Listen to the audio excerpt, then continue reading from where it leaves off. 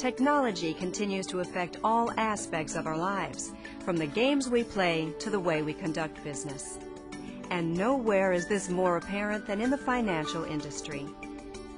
Electronic fund transfers, money transfers completed without the use of traditional checks, present unique circumstances for our institutions. As such, customers need to know that their rights are protected. That's where Reg E, the Electronic Fund Transfer Act, comes in.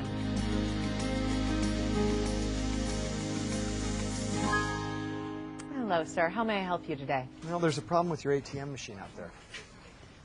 Well, I'm sure we can sort this out. Can you tell me what happened? Yeah, the ATM says that my account only has a balance of $15, but it's wrong. I know that account at least has $700 in it.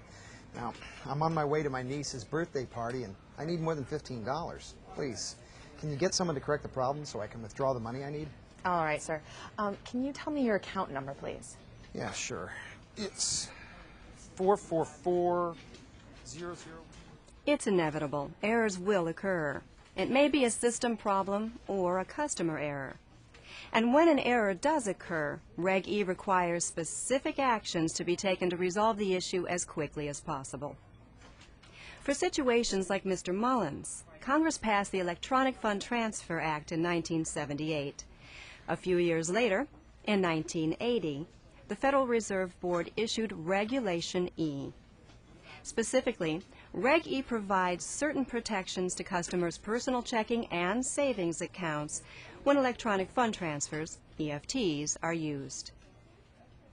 Reg E covers ATM transactions, point of sale debit card transactions, direct deposits, and pre authorized recurring withdrawals like mortgage payments.